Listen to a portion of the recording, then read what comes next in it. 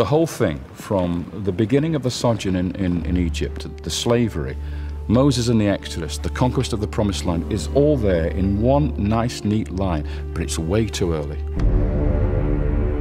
I don't believe there was a single event that we can call the Exodus. This person can't have seen all this. He imagined it. I'm very much against chronological revisionism. There is nothing else like this in the whole of Egyptian history. Really? Nothing at all.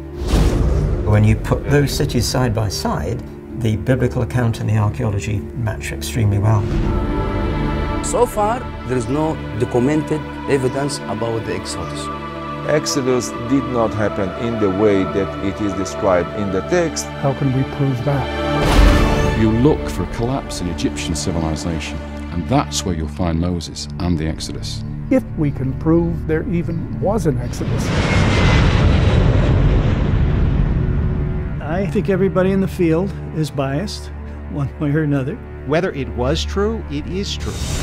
And those are two different things.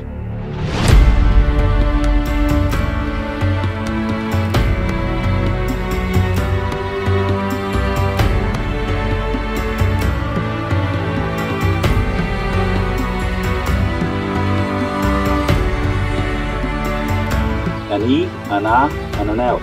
Israel. Israel. There's a high probability that we're looking here at Joshua's conquest. I hate to disappoint people, but we have no evidence for a single mass migration of people from one country coming into another country. There are no archaeological sources that could prove this took place. We have no evidence. If people are telling us that there was no Jericho at the time that Joshua conquered the Promised Land, and therefore Joshua is a piece of fiction, and therefore the conquest is a piece of fiction, why don't we ask the simple question when was Jericho destroyed? In terms of reconstructing ancient history, a lot hinges on the answers. Do you think this is Joseph? Either it is Joseph or it's somebody remarkably the same.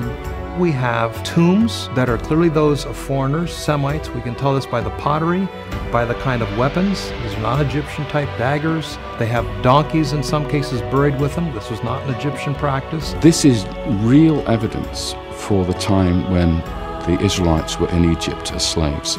We were slaves? Uh, why? I mean, if you're going to dream up a story, surely you'd come up with a better one than that. Look at your evidence and come to a conclusion based on the evidence. So you have you have a connection between the Bible story and these tablets. We have a name that's identical. We have a tablet coming out of the ground with the name Jabin on it. And in the story of Joshua, Joshua killed King Jabin of Hatzor. Why is it that we've never heard of these finds? Because in the scheme that's used by scholars to date all these events, they're way too early. We may be wrong 10 years here 10 years there, but there's no way, you know, to, to shift centuries. Because it would undo a lot of their books, wouldn't it? It certainly would, yes.